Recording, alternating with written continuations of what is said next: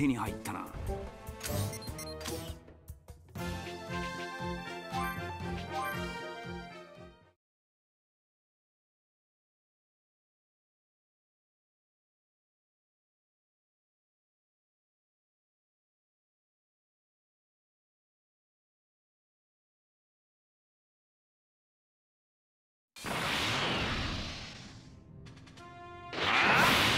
17号と18号が動き出したとしたらベジータで勝てると思うか？さあな。今は奴らが動き出す前に破壊できるよ夢しかあるまい。人が少ない北の山中に研究所を作るとはドクター・ゲロというのはよほど人が嫌いのよ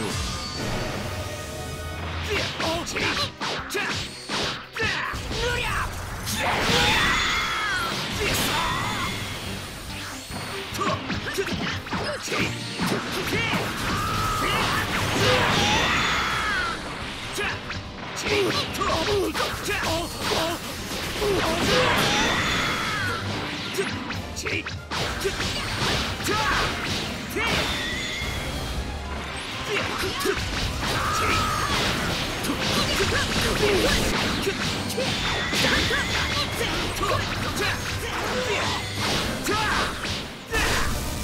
とか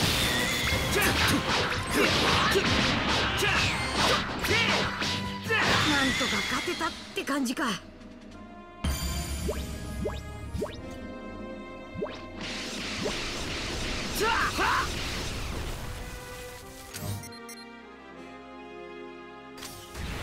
この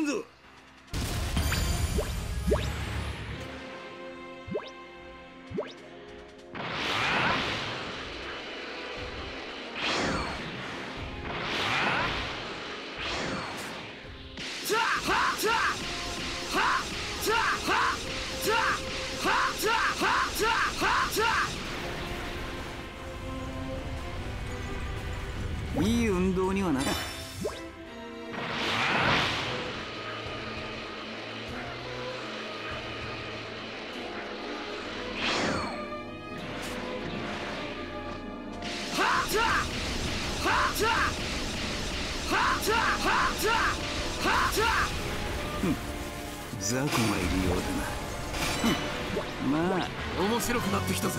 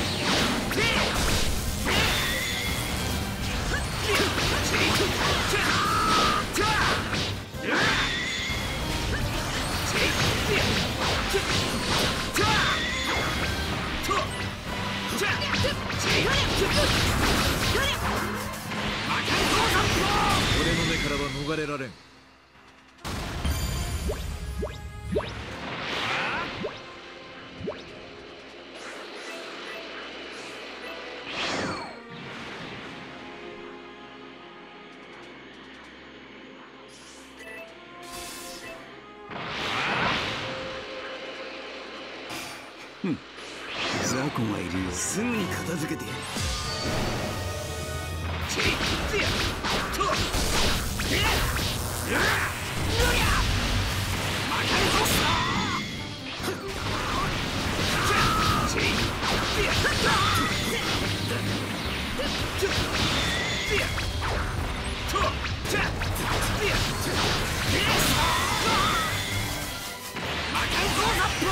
ッ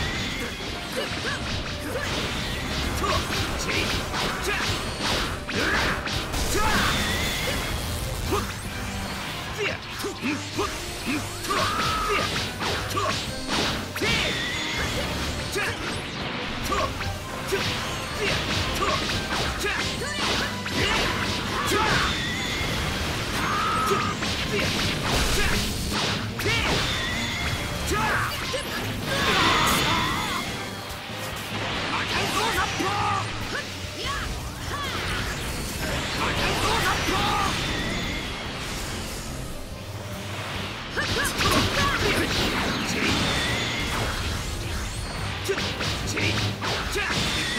その程度だった。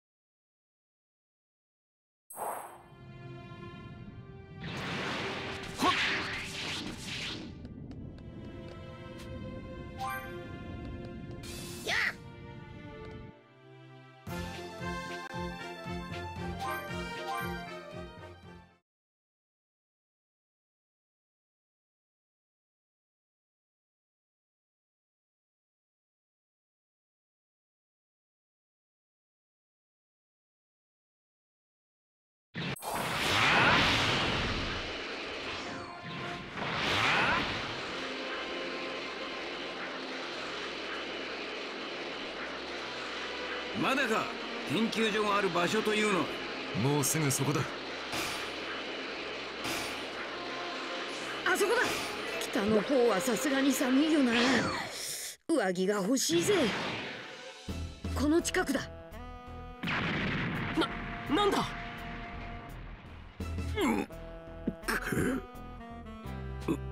海の親であるこのわしを。よく言うぜ勝手に改造した分際で。もう一度言う。ここに迫っている孫悟空の仲間たちを倒せ。命令だ。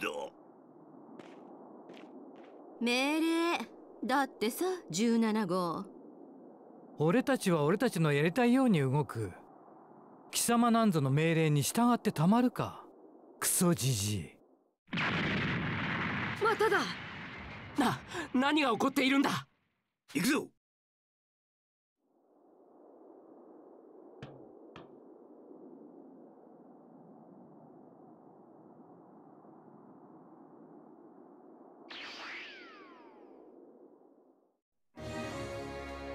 これですっきりしたな。ねえあれ何？ようお前の動くところは初めて見るよ。ナンバーは？16号16号か。なるほど。俺たちより前のタイプか。16号だと。16号なんて俺は知らないぞ。あいつらがドクターゲロの言っていた人造人間か。トランクスお前が言っていた人造人間はあいつらで間違いないか？は、はい。で、ですがあのでかい16号は知らない。何？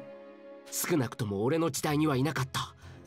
あんなやつどうなってるんだ？どうなっていようと関係ない。俺にやられる人造人間が増えただけだ。そういえばドクターゲロは？あいつなら死んだ。今さっきな。え？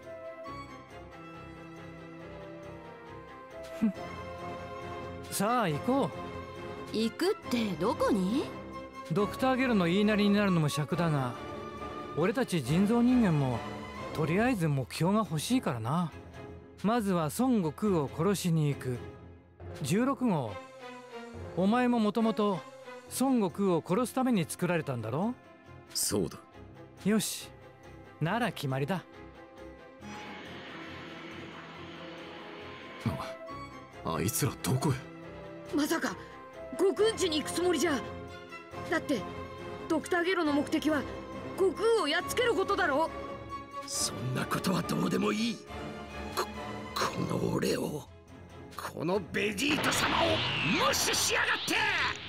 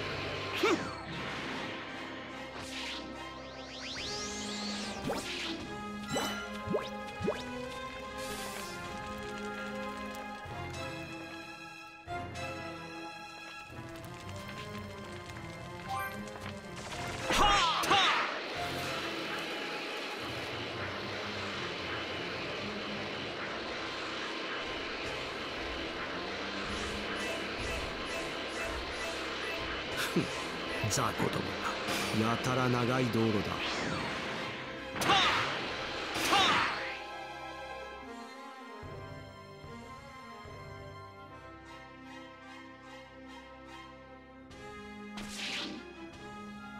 だ。ようまだこんなところでうろうろしてやがったとは意外だったぜ。貴様らこれからどこへ行くつもりだったのか聞かせてもらいたいな。孫悟空のところよ。殺しにね。やはりそうか。だが行くことはできんな。この俺が貴様らを片付けてしまうからだ。サイヤ人というのはどうも自信過剰だな。半端なやつほどそのプライドのせいで早死にすることになる。人形のくせにガタガタ抜かしやがって。どいつからだ？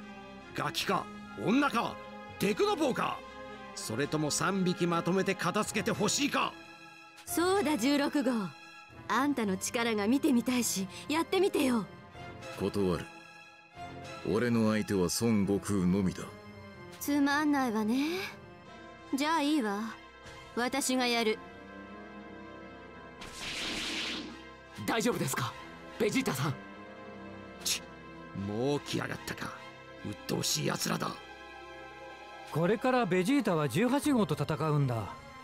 邪魔はさせんぞ。なんだと？とはいえ見てるだけってのもつまらないか。ってわけだからさこっちは1対1で思い切りやろうよ。言っておくが俺は女だからといって手加減はせんぞ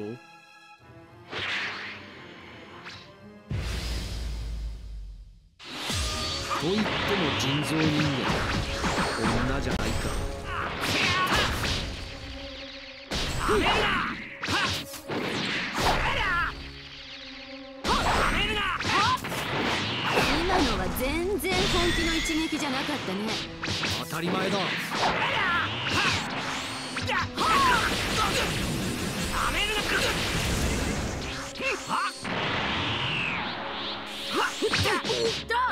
っ。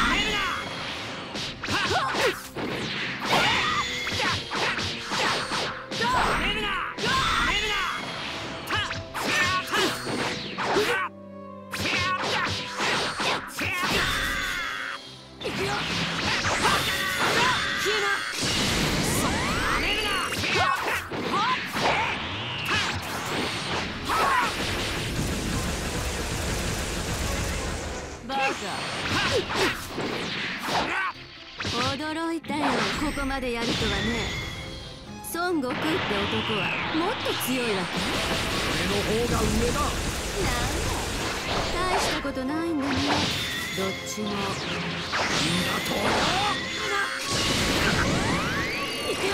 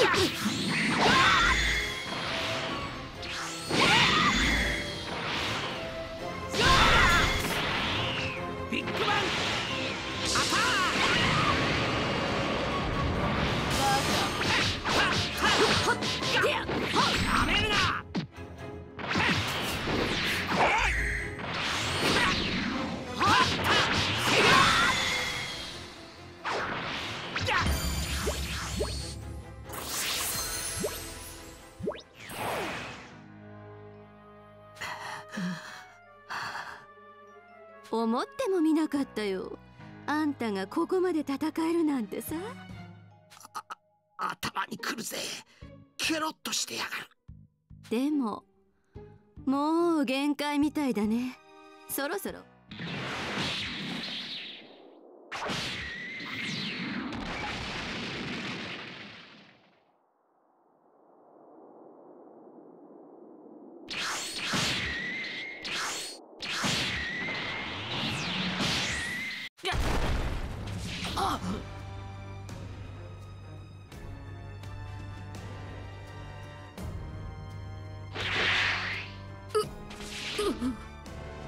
心配するな。ドイツもまだ生きている。早く先頭ってやつを食わせてやるんだな。さて行くとしようか。ねえあいつらに孫悟空の居場所を聞かなくていいのか？心配ない。自分たちでじっくり探すところが面白いんじゃないか。ふん。あんたってガキっぽいよ17号。そうか？別にどうでもいいけど後で町に寄ってよ。さっきので汚れちまったから新しい服が欲しいんだよ。まいいだろま待って待ってくれ。うなんだ何か用か？お前たちの目的は一体何なんだ？とりあえずは孫悟空を倒すことだ。なぜだ？なぜ悟空を狙う？こいつはただのゲームなんだ孫悟空はこの世で一番強いんだろ？人間では。そそんなことはやめてくれ！って言っても無駄か。無駄だ。俺たちは孫悟空を殺すために作られた。だそうだ。そんなことより早く倒れている連中に先祖を食わせてやった方がいいぞ。し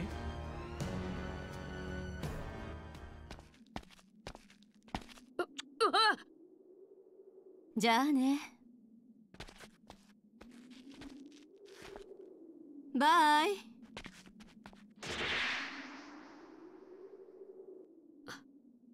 みみんなを助けなきゃ。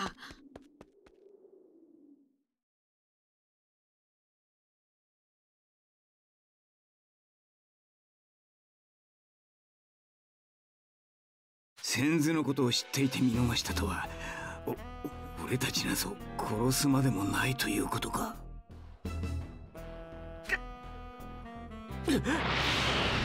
よせ追うんじゃない。放っておくんだ。奴はスーパーサイヤ人になり絶対の自信とプライドを取り戻した。それがあそこまでやられてはショックが大きいだろう。フリーザさえやっつけたこのトランクスですら手も足も出せなかった。ははっきり言うぞ。孫がいくら強いと言っても絶対に勝てっこない。とにかくお前たちはまず孫悟空の家に行って奴をどこか別の場所に移すんだ。あれこれ考えるのはどちらにせよ孫悟空の病気が治ってからだ。そうだな。でピッコロはどうするつもりなんだ？さあなどうしたんだ？ピッコロのやつ。あっちの方角は。そうか。やっぱりあいつ最後のとっておきの手段を使うつもりなんだ。なんだ？その最後の手段というのは？あっちの方角に何があるかわかるか？あっち？さあな。神様んちだ。神様の？どういうことだ？俺はナメック星で最長老さんに聞かされたんだ神様とピッコロは二人にさえ別れなければサイヤ人にだって負けはしないって。つまりピッコロは神様と元通り一人に。ナメック星人の戦士に戻りに行ったんだと思う。では神様はいなくなってドラゴンボールもなくなってしまうんじゃないのか？ああ。だけどピッコロか神様が殺されてしまえばどっちにしてもなくなっちまうんだ。それだけあいつが追い詰められるほどとんでもない敵だって感じたんだろう。おといいえベジータさんはどうするつもりなんでしょうか？もう隠す必要なんかないぜ。お前がブルマさんの抱いてた赤ん坊の成長した姿だってのはもうみんな分かってんだ。知らないのは父親のベジータだけさ。えそそうでしたか？すいません。別に謝ることないだろ俺は一旦チャオズのところへ戻る。再び雲行きが怪しくなったら駆けつける。分かった。俺たちは悟空を連れて無天老師様のところへ行くよ。孫に伝えておいてくれ。無理するなと。ああ。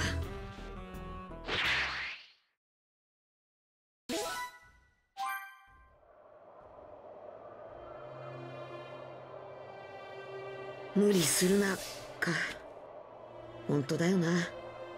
今度ばっかりは。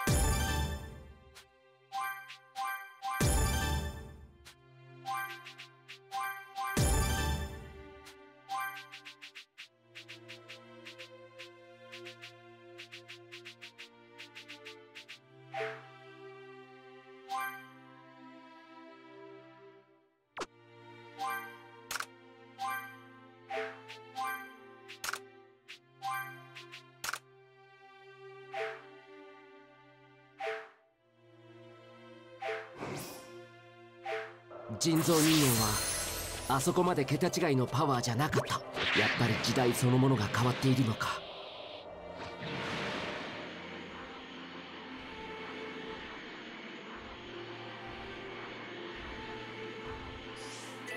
よかった。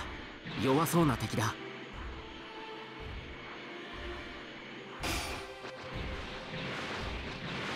よしやってやるぞ。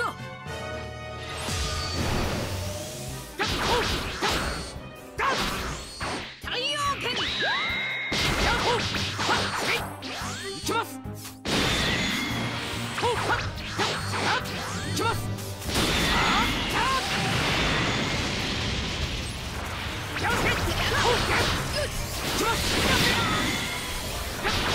いき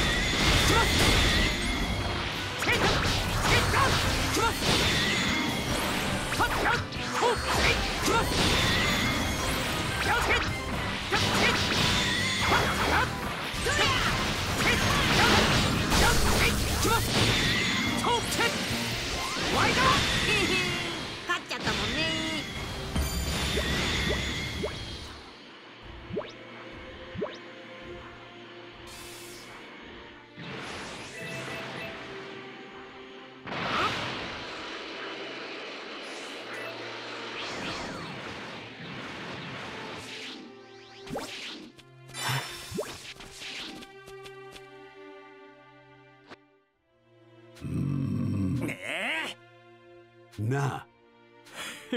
あ何あ。やだね。いや。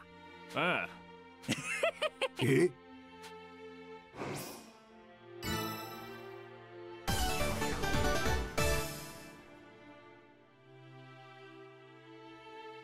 あの。え？それでは。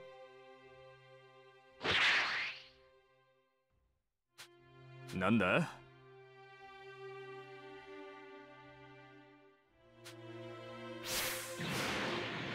早く行かないと。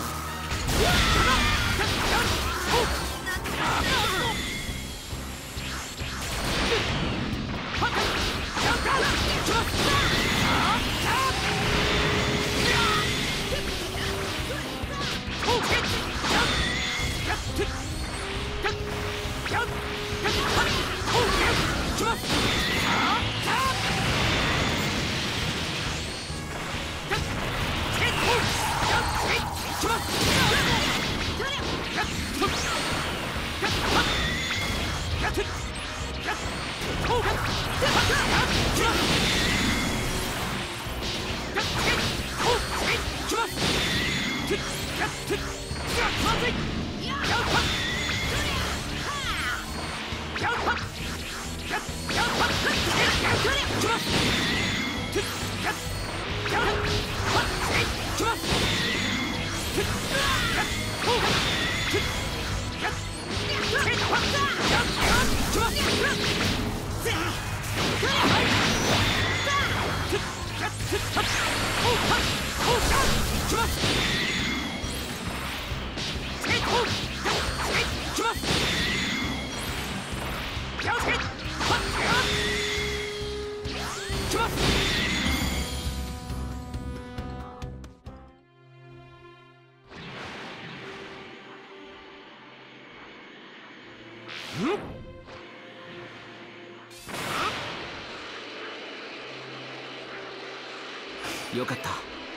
そうな敵だ。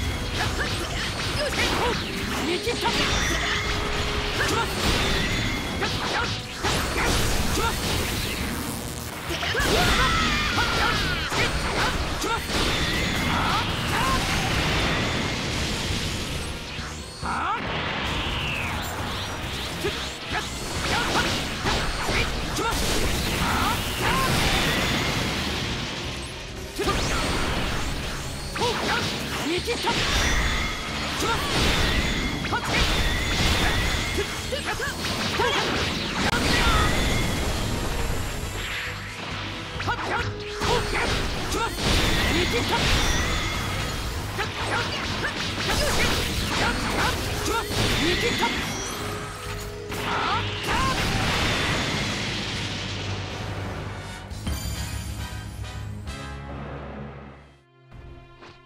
えっと。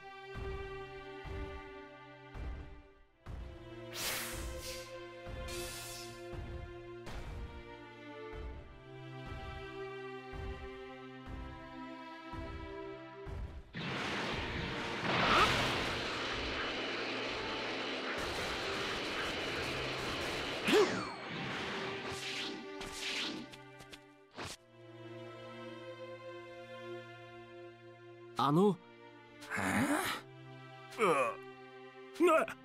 ええ。ありがとう。いえ。えー、そうですね。なはははははは。あの。え？ええ。そうか。ははは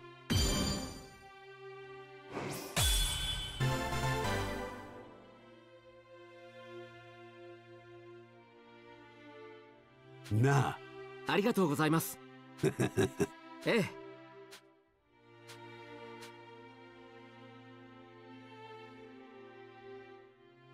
俺ももっと頑張らないと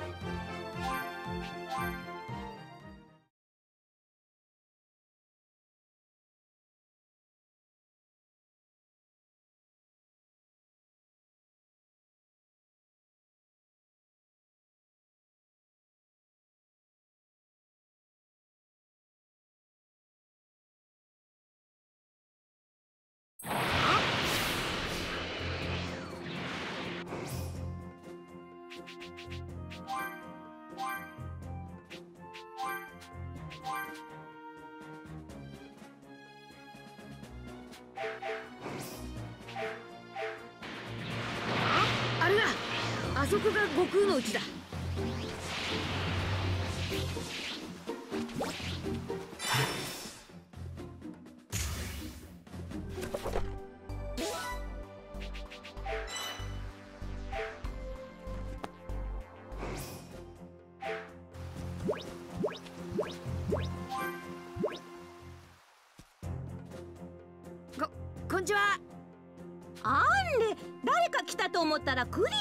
リリンさんけ。ほらてっきりご飯ちゃんかと思っただよ。トランクスこの人は悟空の奥さんの父さんだ。あんれおめえは誰だ？初めてどどうも。ははじめまして。クリリン無事だったか。よかった。心配したぞ。あヤムチャさん。悟空はあれからどうなりました？大丈夫だ。薬を飲んで今眠っているお前は未来から来た。そうか。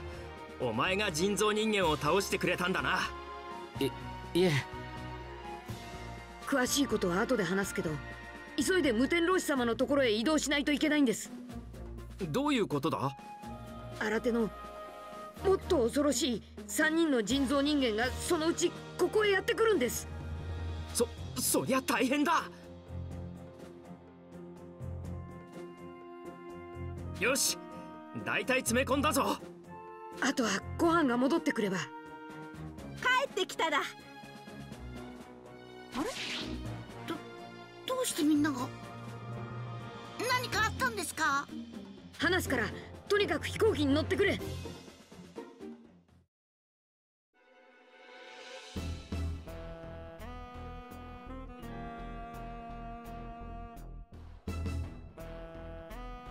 ところでさ孫悟空がどこにいるか少しのヒントもないわけ？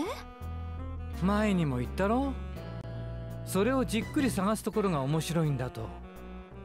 にしてもさちょっと無計画すぎだよ。ねえ16号あんたは何か知らないの？東の439地区の山村に孫悟空の家がある。なんだ知ってんじゃん物知りだな。ドクターゲロから聞いていたのか？そうだ。飛んでいけばほんの数分で着く。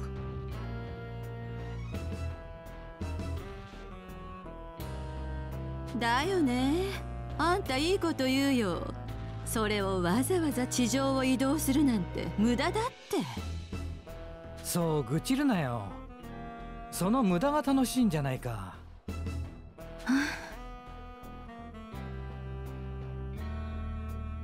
17号。あんたってほんとガキだね。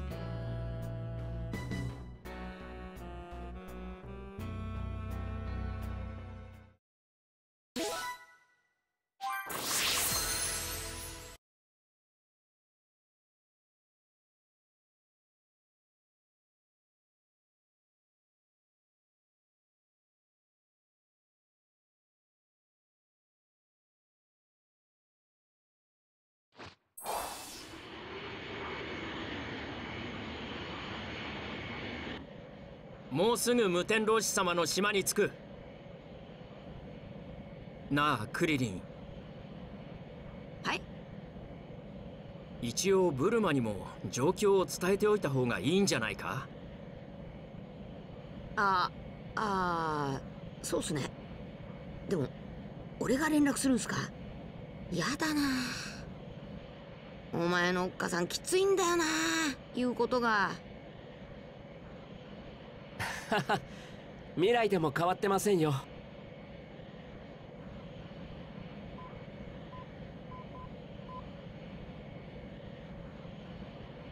あブルマさん。あのー、クリリンっすけど。クリリン何よ無事だったわけ？そこに未来の私の息子のトランクスいない？え？あはい。ちょうどいますがどうかしたんですか？それがさ何日か前に西の方の田舎の人からうちの会社に問い合わせがあったらしいのよ。山に不思議な乗り物が捨ててあったみたいでボディにはカプセルコーポレーションって書いてあるって。それで写真撮って送ってもらったんだけどうちがこれまで作ったどの商品にも当てはまらなくてさ。それでもしかしたらトランクスが何か知ってるんじゃないかって思ってね。苔とかついててえらく古い乗り物なんだけど写真をファックスで送るからちょっと見てくれない？これは？ま間違いない。これは俺の乗ってきたタイムマシンそのものだ。でも俺が乗ってきたタイムマシンはカプセルに戻して自分で持ってますよ。やっぱりこれタイムマシンなんだ。でも一体どういうことかしら？そのタイムマシンがある場所は分かりますか？詳しくはわからないけど西の1050地区のどこかだと思うわ。行くの。はいこの目で見てみたいんです。じゃあ私も行くわ。現地で会いましょう。僕も一緒に探しますよ。行っていいですか？もちろん。どうもありがとうございます。ごはんちゃん。大丈夫ですよお母さん。危険なところへ行くわけじゃありませんから